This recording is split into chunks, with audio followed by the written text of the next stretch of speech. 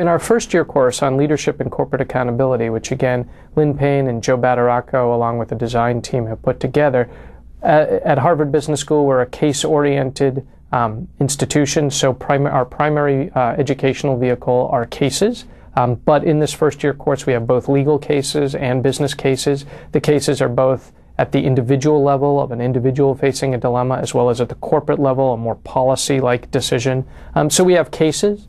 We also have background pieces. Of course, we, we, um, we use Milton Friedman's classic article on the, the social responsibility um, of the corporation, but we also have background notes on um, ethical responsibilities on a variety of laws. We have background uh, notes on how to set up systems uh, so that uh, people in organizations are more likely to be able to fulfill their responsibilities. We also have adapted some uh, um, a survey that Daniel Kahneman put together to understand how people um, make fairness judgments. And what we do is we ask students to complete this fairness poll.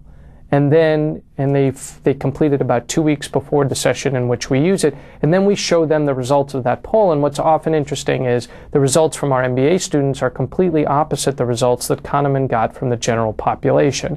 And this, again, is another eye opening device. So thinking about cases, background readings, diagnostic tools like that, like the fairness poll. And we also have students do a fair number of reflection exercises. For example, reflecting on upon, uh, upon, a time when they failed to exercise leadership in fulfilling their responsibility, or reflecting upon a time when someone else led them to be able to rise to a responsibility that they otherwise thought they would not be able to rise to. So, combining both kind of deep knowledge, practical application in the cases, and a chance for personal reflection.